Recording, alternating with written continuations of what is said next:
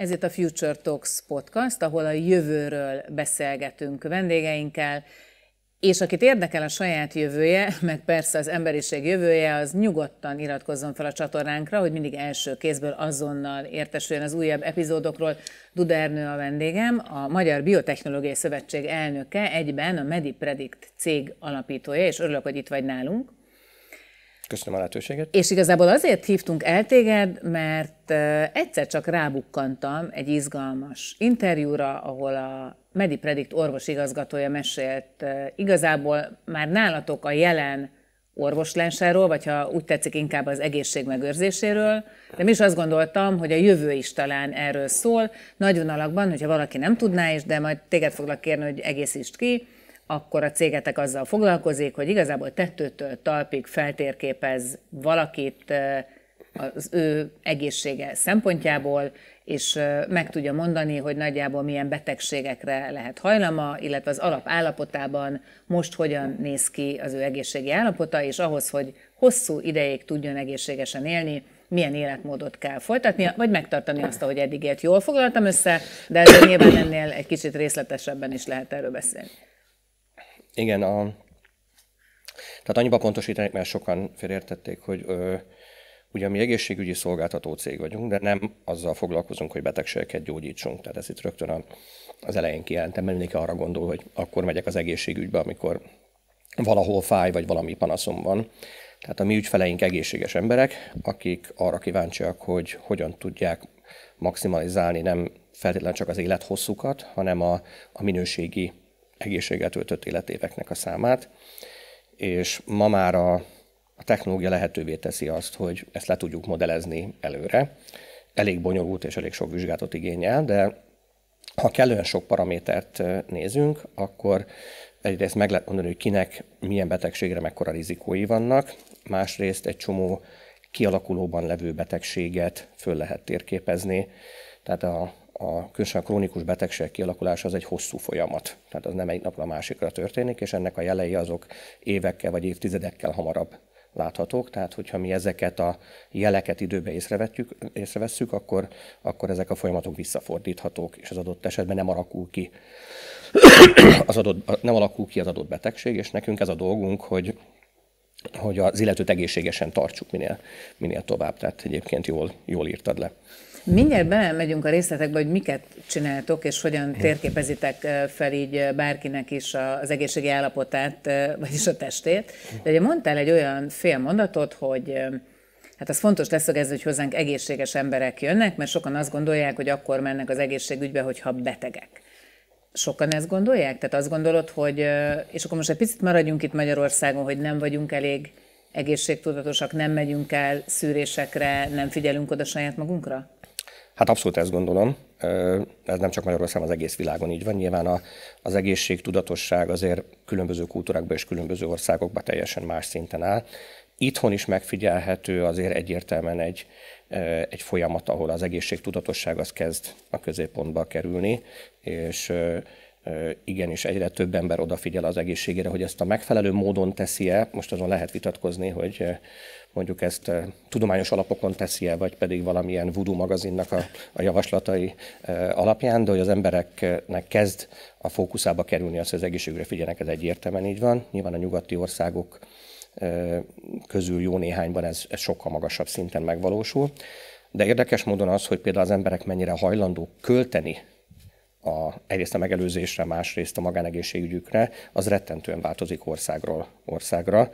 Tehát most mondok egy egyszerű példát, míg Svájcban mondjuk az emberek, vagy az USA-ban az emberek szokva vannak arra, ahhoz, hogy az egészségre költeni kell, és a megelőzésre is költeni kell, mondjuk például Nagy-Britanniában sokkal kevésbé hajlandóak a pénztárcukba nyúlni az, hogy az egészségükre költsenek. Tehát ez egy kicsit múlik azon, hogy az adott országnak milyen történelmi háttele van ebben, milyen egészségügyi rendszer volt korábban, milyen biztosítók. Tehát, hogy ez nagyon, nagyon változó országról országra. Magyarországon szerintem nagyon alacsony, vagy sajnos nagyon alacsony szinten van ma még a, az egészségmegőrzés, és ez vonatkozik mind a, mind az állami rendszerekre, mind pedig az adott egyéneknek az egészségtudatosságára, tehát a lakosságnak egy nagyon kicsi töredéke az, aki egyébként rendszeres szűrésekre eljár, vagy aki kellően odafigyel a testmozgásra, diétára, stb. És akkor már ne, ne beszéljünk ilyenekről, hogy akik, nehogy Isten, genetikai vizsgálatot csinálnak, vagy valami komplexebb vizsgálaton vesznek részt. Na de, de... ez egy nagyon szűk réteg, akire ti lőttök idézőjelben, hiszen akkor ezek szerint... Akire mi lövünk, az egy rettenetesen szűk réteg. Az egy rettenetesen szűk réteg. Tehát mi, a, mi a, az egész extrémen egészségtudatos emberekre lövünk, külföldön is, meg itthon is. Ráadásul, mivel a miénk egy nagyon komplex, nagyon magasan árazott szolgáltatási, ezt nagyon kevesen tudják megfizetni, különösen itthon. Tehát mi egy nagyon szűk réteg lelünk. Mi azokra lövünk, aki, aki nagyon egészségtudatos, tudni akarja, hogy mik a rizikófaktorai, hajlandó azokkal szembesülni, és hajlandó azzal valamit kezdeni. Tehát, hogyha ő ő kap egy információt neki, hogy kéne másképp élni, akkor tényleg megváltoztatja. Azért mondja, hát egyébként meg, meg tud fizetni ezer millió vizsgálatot, ami, ami ehhez, ehhez szükséges. Tehát ez egy, ez, egy, ez egy rendkívül szűk réteg, ezt jól látod.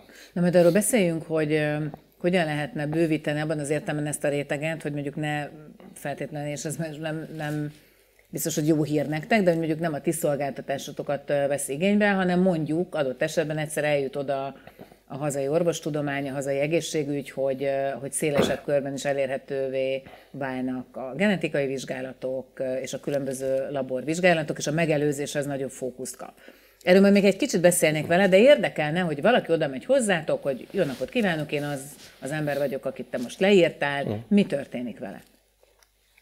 Hát az első dolog, hogy részt vesz egy konzultáción, ahol adott esetben elbeszélget a mi valamelyik orvosunkkal, és egyáltalán eldöntjük azt, hogy ő biztos akarja ezt a szolgáltatást, és mi eldöntjük azt, hogy egyébként biztosan megcsináljuk-e neki. Tehát Ez volt... mitől függ?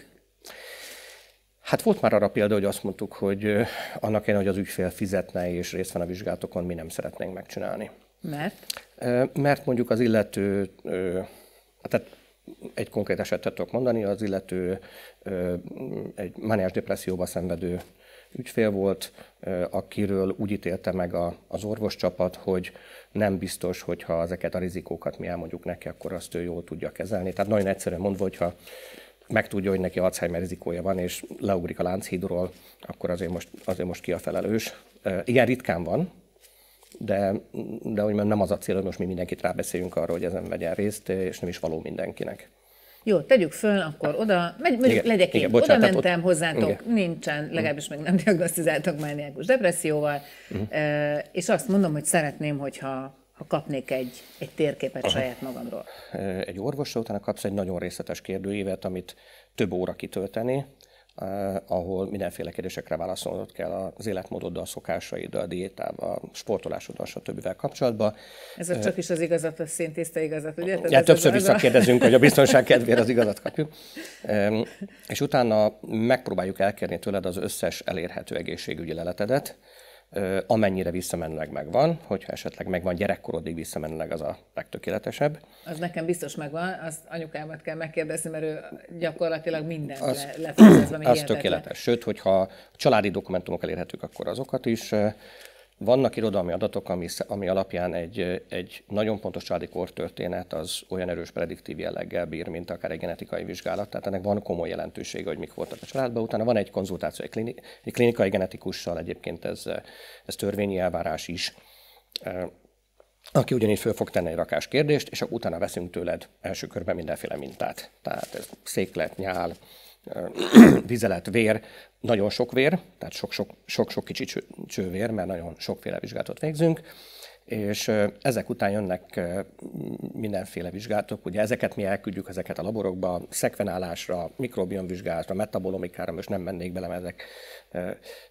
szerintem most nem annyira lényegesek, és akkor utána van egy, egy nagyon részletes orvosi kivizsgálás, ami olyasmi, mint egy menedzser szűrés, kicsit több dokival, meg, meg több részletre kiterjedően, de az egyébként az, amit megszokott az ember. Egy, Tehát akkor gondolom ultrahangtól kezdve a terheléses ekg Így van, a... mindenféle. Kicsit hosszabb, mint amihez az ember szokva van, kicsit többféle vizsgálat, meg többféle orvos, de ez mondjuk egy két-három napot vesz igénybe, és akkor van még elég sok képalkotó, tehát itt teljes testemertől kezdve, mákas CT, külön koponyemert, tehát hogy nagyon, nagyon sokféle képalkotó vizsgálatunk, hogy ezeket az adatokat földolgozzuk és értelmezzük, és a végén elkészül egy ilyen 300 oldalas kvázi könyv, ami csak rólad szól, és arról szól, hogy milyen a te egészségállapotod, milyen rizikóid vannak, és beleírunk minden javaslatot, és mindent, amit találtunk. De én ezt fogom tudni egyébként mindenféle orvosi végzettség nélkül értelmezni?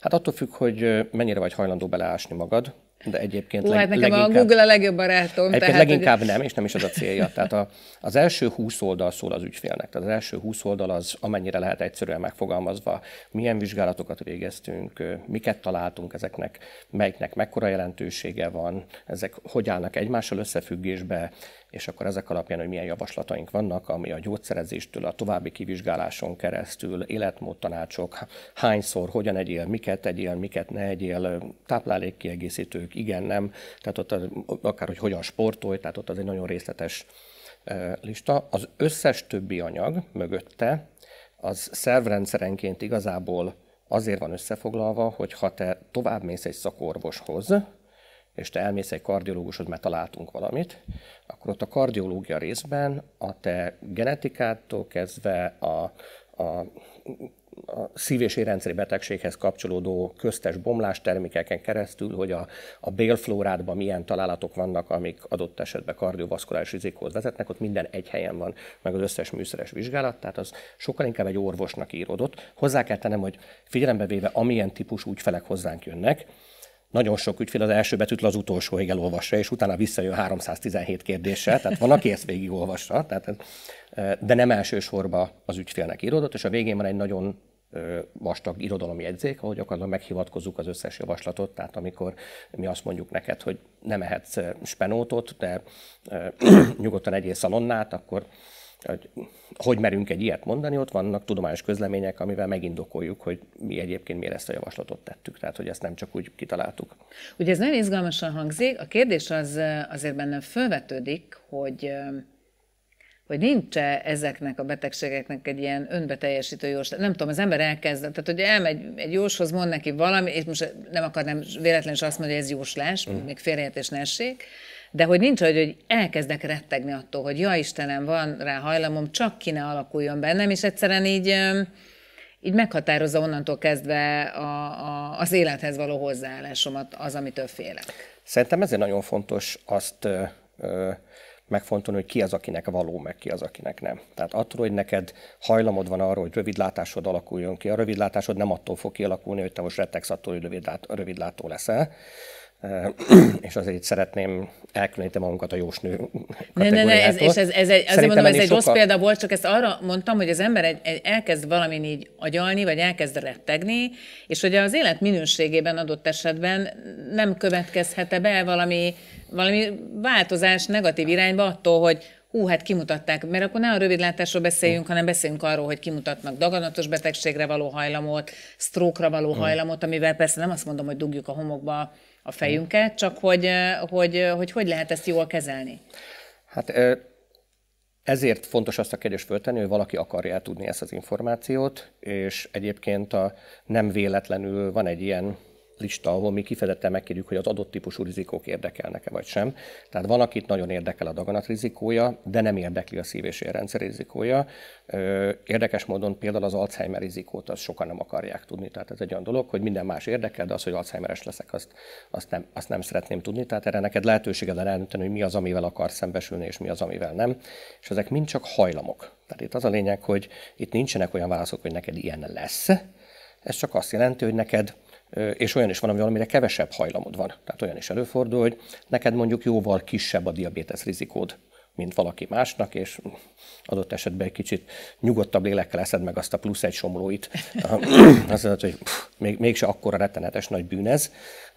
Tehát mi azt is megmondjuk, amire kevesebb hajlamod van, vagy több hajlamod, és az a fontos, hogy gyakorlatilag mindenhez lehet adni egy útmutatót, hogy mi az, amire figyelhetsz még mellette. Sőt, volt olyan ügyfelünk, nagyon érdekes, volt egy olyan ügyfelünk, aki eleve megmondta azt, hogy ő nem fog leszokni a dohányzásról, ő pontosan tudja, hogy milyen rizikói vannak annak, hogy ő dohányzik. Azt mondjuk meg, hogy ha ezt ő így kijelentette, mi az az összes többi dolog, amit meg tud tenni ahhoz, hogy neki a legkisebb valószínűséggel alakuljon ki szív- és érrendszeri vagy daganatos betegsége. Tehát mi, minden mást hajlandó megcsinálni, de a dohányzásról nem szeretne leszokni, tehát ilyen, ilyen típusú kérdések is vannak, és biztos, hogy vannak másoknak is olyan életmódi szoká, vannak olyan szokásaik, amikről nem hajlandók lemondani, de arra kíváncsiak, hogy mivel lehet ezt mondjuk egy kicsit kompenzálni valamilyen más, valami más úton. Tehát itt, itt igazából a javaslatokon van a lényeg, és minden, sokan úgy gondolják, hogy amikor mi ezt a riport, ez, ez egy félnapos program, amikor ezt a riportot átadjuk. Tehát ott, ott ül egy dietetikus, ott ül egy, egy health coach, egy ilyen egészségügyi tanácsadó, ott ül egy orvos, egy genetikus, klinikai genetikus, tehát az, az, egy, az, egy, az egy több órás folyamat, mire itt ezt elmagyarázzák, és sokan visszajönnek még utána egy csomó más kérdéssel. De itt egy folyamat kezdődik, nem befejeződik. Tehát itt kapsz egy dietetikust, kapsz egy életmód tanácsadót, aki egyébként orvos, akivel te havonta beszélgetsz arról, hogy most az a 117 féle eltérés, amit találtunk, mert hogy találni fogunk nálad uh-huh. 117 féle eltérést, ami nem azt jelenti, hogy beteg vagy, az csak azt jelenti, hogy te már az egészséges értéktől egy kicsit eltértél valamilyen irányba, és mi ezt megpróbáljuk visszatornászni a, a normál értékre, amit mi mondjuk egészségnek tekintünk, és akkor van egy ilyen folyamatos oda-vissza konzultáció, és utána x hónap után újra meg fogjuk mérni a te metabolitjaidat, a te, ugyanígy veszünk vért, ugyanígy megnézzük a bélflórádat, és akkor megnézzük azt, hogy mondjuk, ha neked valamilyen bélbaciból, ami károsnak bizony abban nagyon sok van, hogy ezt sikerült-e leszorítani, a hasznos bélbacikat sikerült-e felnövesztenünk egy megfelelő diétával, és akkor Közben valami más fog egy kicsit eltérni, és itt igazából az a cél, hogy egy olyan egészségfelügyeletet biztosítsunk, egy olyan monitorozás, ami folyamatosan mérünk téged, és nekünk az a dolgunk, hogy te ne betegedj meg. Vagy hogyha valamire van egy nagyon erős hajlamod, akkor az minél, minél később következzen be. Tehát, hogyha te előbb vagy utóbb akármit csinálunk, diabéteses leszel, akkor nem mindegy, hogy az 20 éves korodban vagy 80 éves korodban következik be. Tehát a mi dolgunk az, hogy a, az ügyfelet egészségesen tartsuk, és folyamatosan visszamérjük azt, tehát nem csak tanácsot adunk, hanem megmérjük azt, hogy amiket mi javasoltunk, azok hogy váltak be. Ugye azt mondtad, hogy hogy elmennek a szűrésre hozzátok az emberek, kapnak egy 300 oldalas könyvet, annak nagyon nagy része az igazából azoknak az orvosoknak szól, akikkel mondjuk ő az élete során találkozni fog, akár egy hmm. szív- és rendszeri probléma, akár más esetén. Föl van arra egyébként készülve a magyar egészségügy, hogy bemész valahova, hogy akkor vizsgálnak ki, tessék elolvasni ezt a, a leírást, és akkor ezt legyen kedves figyelembe venni a kezelésem során? Egyrészt nem feltétlenül egy magyar orvoshoz fogsz ezzel eljutni, tehát ugye ez, ez leve egy, az összefoglalót, ha kell megcsináljuk magyarul, de ez, egyik, ez egész egyébként helyből angolul készül. Inkább úgy mondom, hogy vannak olyan orvosok Magyarországon, tehát Magyarországon is lehet találni olyan orvost, aki fog tudni mit kezdeni azzal az információval, hogy neked ilyen genetikai rizikód van, ezt találtuk a bélflórádba, ilyen eltérések vannak, stb. Vannak ilyen orvosok Magyarországon.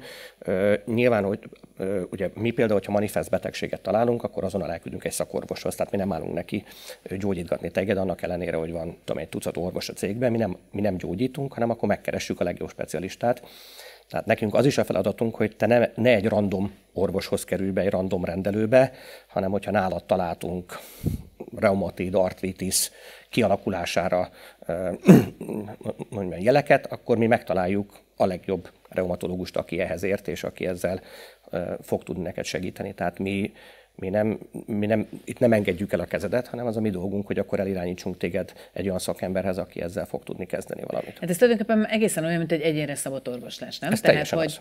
Igen. Ez, ugyanez vonatkozik mondjuk a gyógyszerekre? Az ember elmegy és kivált a patikában egy csomó gyógyszert, ami az esetek többségében vagy hat, vagy nem hat, hogyha nem hat, akkor kap egy másikat, és akkor kísérletezgetnek, hogy akkor melyik a jó. Nyilván van egy csomó egyből eltalálják, tehát hogy megint nem akarok semmilyen vizsgálatot rossz fényben feltüntetni, de hogy, hogy akkor ez hogy néz ki mondjuk gyógyszerek szintjén. És ezt azért kérdezem különösképpen, mert Pár hónappal ezelőtt Petek István volt a, a vendégünk ebben a podcastban, akik tulajdonképpen az egyénre szabott rágyógyítással foglalkoznak, ugyanúgy, hogy ők a, a tumoroknak nézik a, a különböző értékeit. Ez egy nagyon jó kérdés. Tehát van a személyre szabott gyógyászat, ami arról szól, hogy 100 száz tüdőrákost adott esetben nem mind a százat ugyanazzal kezeljük, hanem megnézzük azt, hogy igazából mitől alakult ki a tumorjuk, milyen driver gének van, tehát hogy melyik személyre szabjuk a, nekik a gyógyítást. Mi a személyre szabott prevención dolgozunk, tehát mi, a, tehát mi, a, mi egy, egy lépéssel korábban vagyunk, ami ugyanúgy a személyre szabott orvoslás, csak a predikció és a prevenció szintjén, mert nincs két ember, akinek ugyanaz a diéta pont ugyanaz a diéta lenne egészséges, vagy pont ugyanaz az életmód lenne egészséges, mert annyira különbözünk, annyira különbözik a metabolizmusunk, a genetikánk, stb., hogy sőt, ugyanannak az embernek két különböző életpillanatban már nem ugyanaz a diéta egészséges. Tehát ez, ez mindig, mindig az adott, adott, az adott időpillanatra kell vetíteni, tehát ez teljesen, teljesen jól látod, hogy mi ezen a, ezen a területen mozgunk de ellentétben a személyre szabott orvoslásról, hogy adott problémát akarunk megoldani, nekünk minden betegségtől, tehát ez egy annyival komplexebb dolog, hogy nekünk, te, téged nem az érdekel, hogy te ne legyél szívbeteg, vagy ne legyél daganatos, vagy ne legyél artit, téged az érdekel, hogy te úgy amblok nem akarsz beteg lenni. Tehát ez egy nagyon, nagyon komplex probléma ilyen szempontból, mi, mi, mi nekünk az összes betegségtől meg kell óvni téged.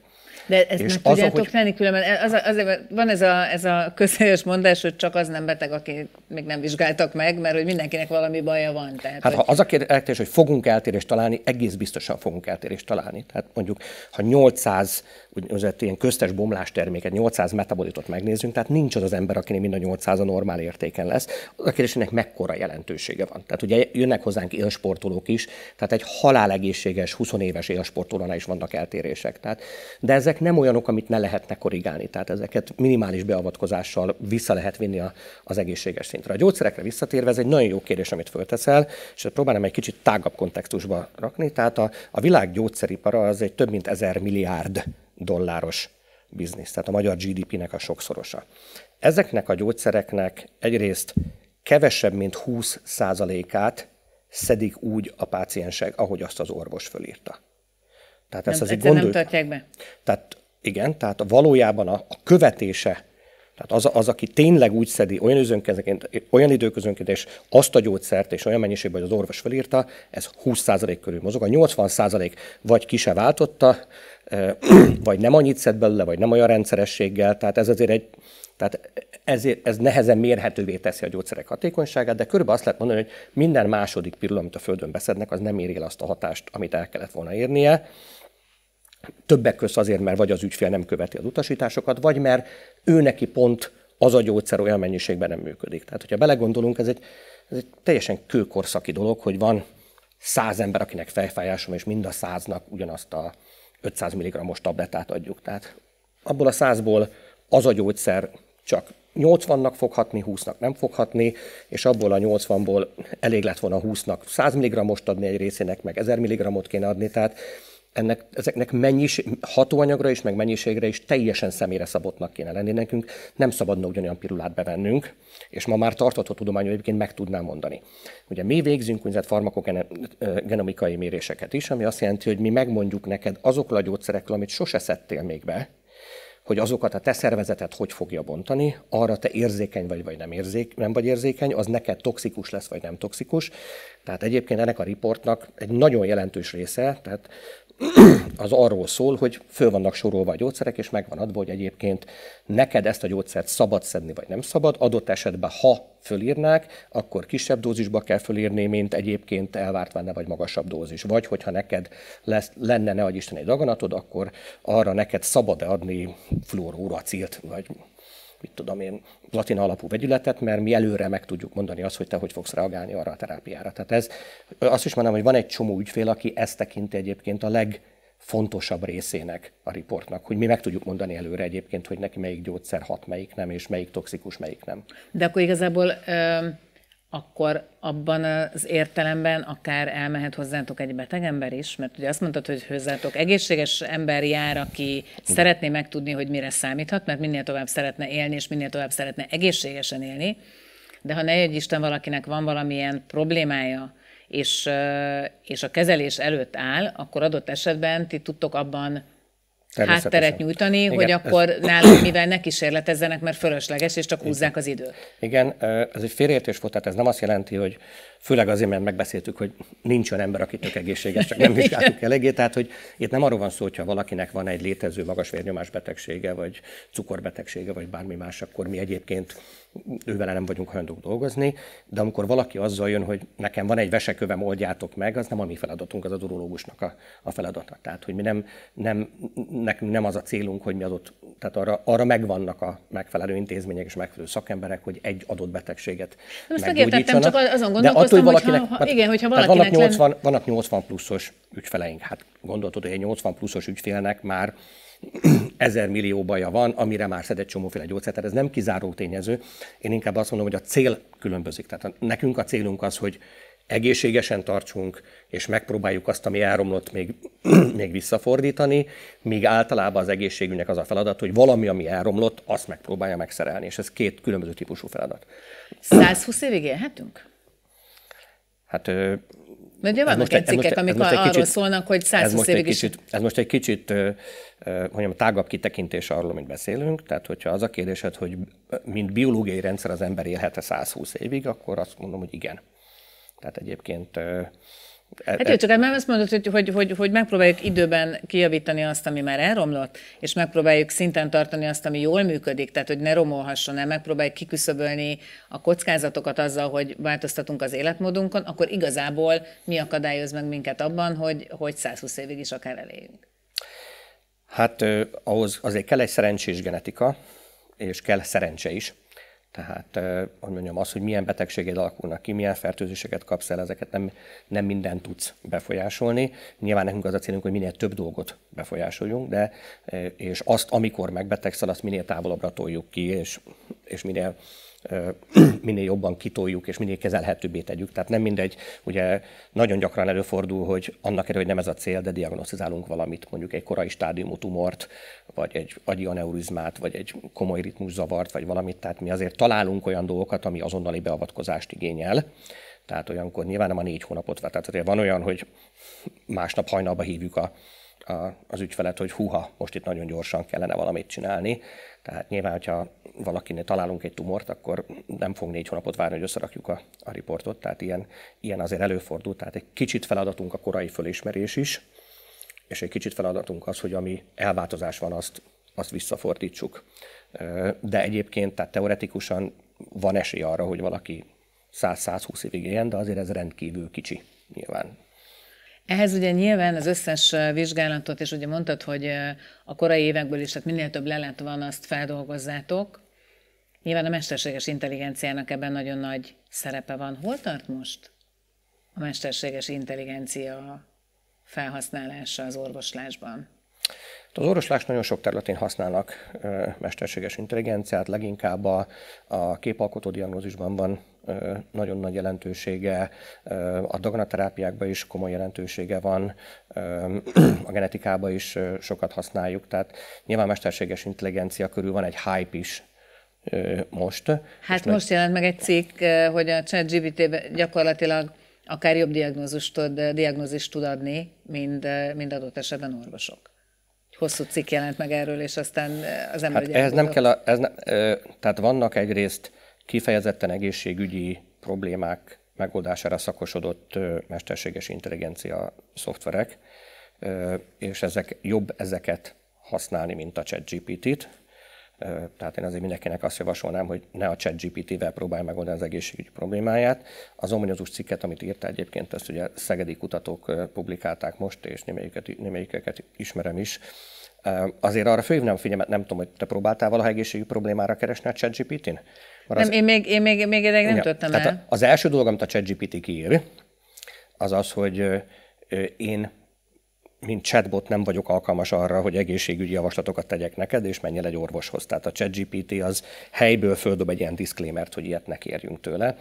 De ehhez nem kell ilyen messzire menni, tehát azért számtalan példát lehetett hallani már sok évvel ezelőttről is, amikor valakinek mondjuk valamilyen olyan ö, ritka korképe volt, ami, ami, ami egy nem hétköznapi dolog, amivel mondjuk az orvos nem tudott mit kezdeni, és sima Google keresőbe beírta a 16 féle tünetét, és utána ő talált rá arra, hogy mi baja van, és, és, a, és nem a klinikus, mert volt ideje ezzel szórakozni, tehát ehhez nem is, ehhez nem is kell mesterséges intelligencia, ez csak azt kell, hogy valaki kellően mélyen beleássa magát. Azért itt a, a ChatGPT ilyen szempontból egy nagyon veszélyes irány. Elmesélek egy történetet, amit egyébként egy, egy híres magyar neuroradiológus indított el most egy, egy threadet a, a LinkedIn-en, ahol pont egy ilyesmi típusú kérdést tettek föl neki, és a ChatGPT egyébként egy nagyon professzionálisnak tűnő választ adott rá, ahol felsorolt publikációkat, tudományos publikációkat is, hogy ő honnan merítette azt, amit mondott. És erre valaki vette a fáradtságot, és rákeresett ezekre a publikációkra, és kiderült, hogy ezek soha nem léteztek, ezek a publikációk. És amikor ezzel szembesítették a ChatGPT-t, akkor a szoftver elnézést kért.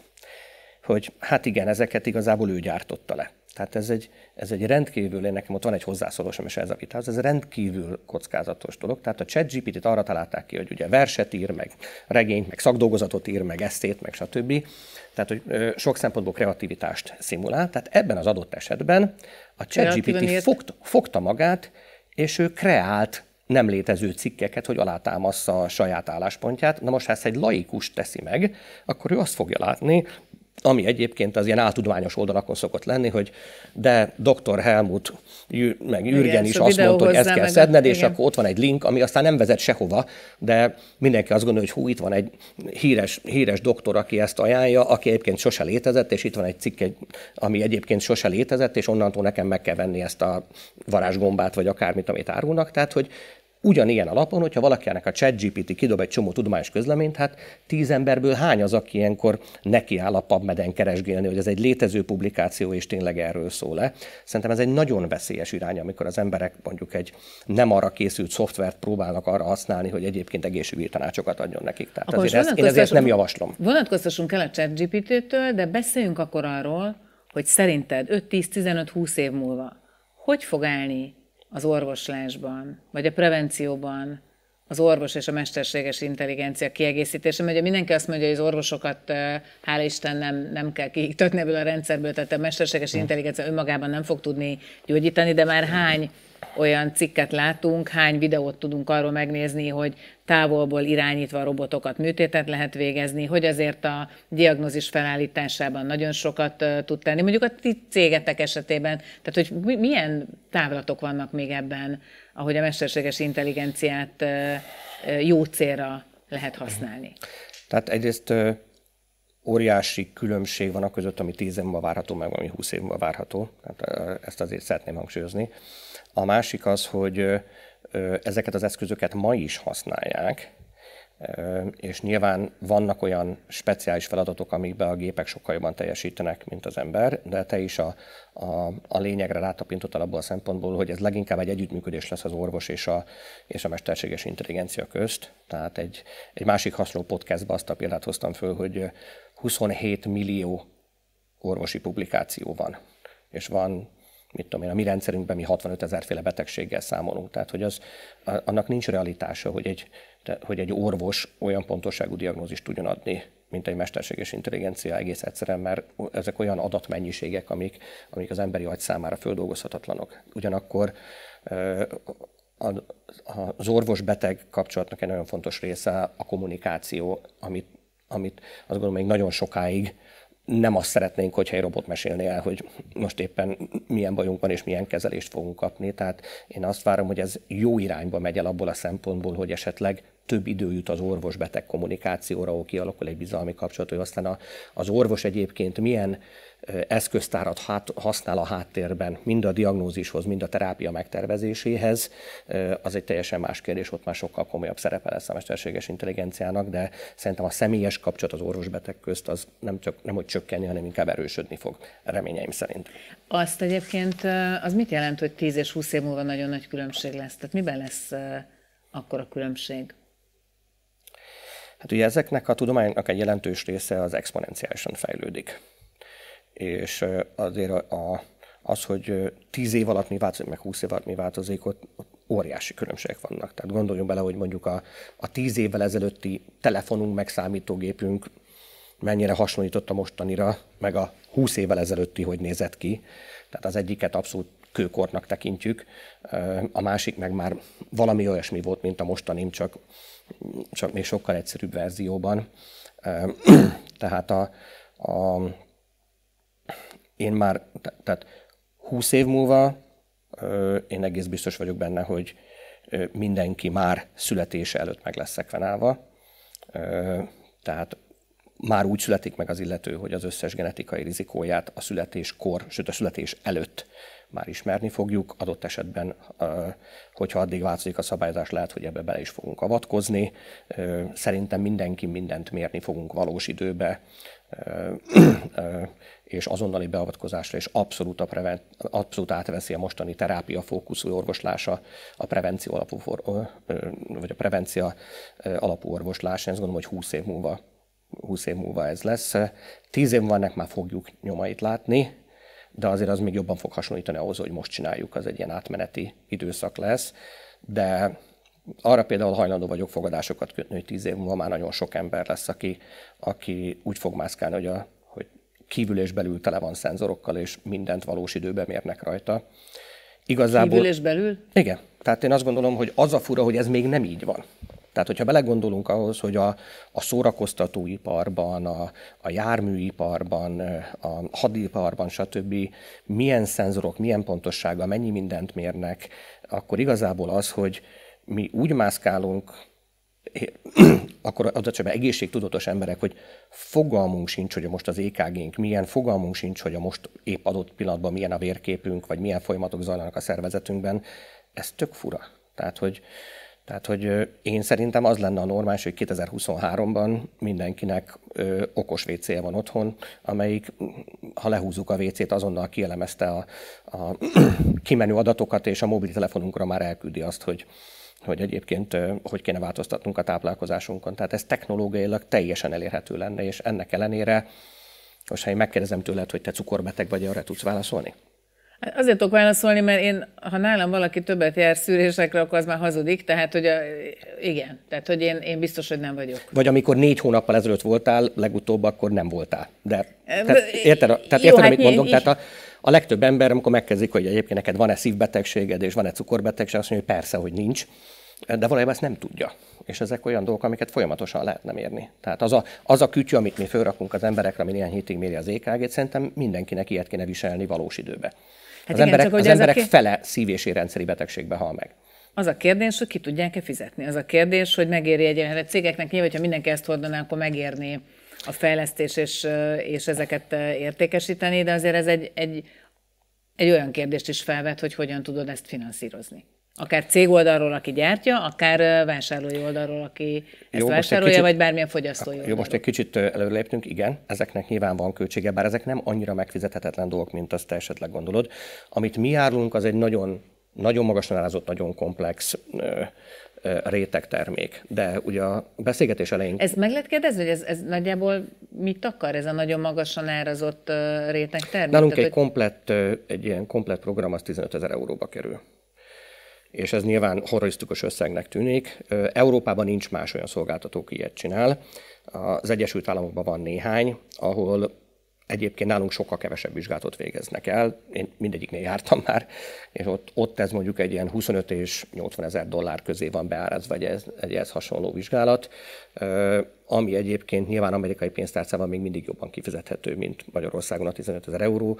Mi mondjuk ezt nem is Magyarország, tehát annak ellenére, hogy vannak magyar ügyfeleink, de azért, hogy mi az ügyfelek egy részt, tehát volt már ausztrál ügyfelünk, meg amerikai, meg svéd, meg spanyol, tehát nagyon sok külföldi ügyfelünk van, de azért meglepő módon Magyarországon is vannak olyanok, akik ezt a pénzt kifizetik, és érdekes módon nem az anyagi helyzet az elsődleges szempont, tehát nem, ugye sokan azt gondolják, hogy ez egy luxus termék, és azt fizeti meg, akinek tenger sok pénze van, de nem ez a tapasztalatunk.